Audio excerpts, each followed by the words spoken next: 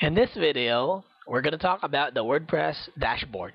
So to get your dashboard, first please log into your WordPress site.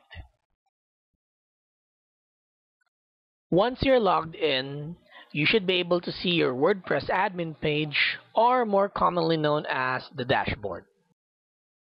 As you can see, it is very easy to use. It has a bunch of shortcuts and links grouped together very organized. Now what you have right here in this meta box is the quick link section. So you'll see shortcuts for viewing your website, managing your menus, turning your comments on and off, writing your first blog post, and many more.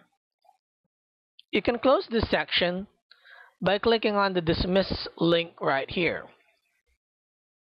Now, just in case you want to see the quick links section or meta box again, what you need to do is go to this part right here that says screen options, click it, put a check mark on the one that says welcome, and there you have it.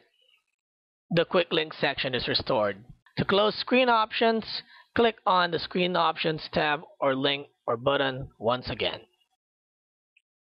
Moving on, we go to the at a glance meta box. It shows you the number of posts, comments, and page that you have on your website or blog site. And of course, it also shows you the current version of WordPress that you're using, plus the theme that you're currently utilizing on your WordPress site. Next, we have the activity meta box. It shows you the most recently published articles or pages or posts and also the most recent comments. You can also access the group of comments on this section. So what we have here, we have all comments, pending, or the ones that you haven't approved yet, approved comments, spam or junk comments, and of course trash or the ones that you've already deleted. Now, we go to the quick draft or the quick press meta box or section. The quick draft meta box allows you to write a post quickly or on a whim. So you can instantly make a post here just by writing the title of your post and what you want to say. Bear in mind though that the quick post section doesn't have full formatting capabilities. We'll go to that later when we talk about the post section of your WordPress site.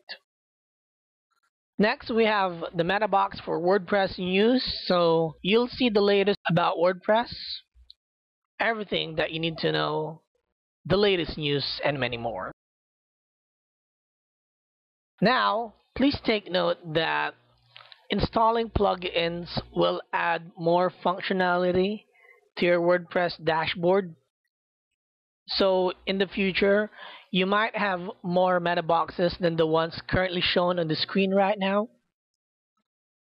You can toggle the meta boxes that you see on your dashboard again by going to the screen options right here.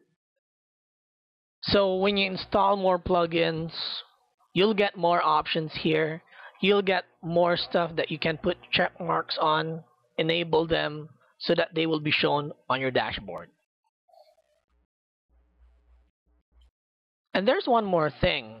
On the upper left hand corner where you can see the WordPress icon, you can go there to access the support forums for WordPress and get more information about WordPress. As you can see, when you mouse over this link right here, the one with the WordPress icon, you'll see about WordPress, WordPress.org, documentation just in case you need more information, support forums.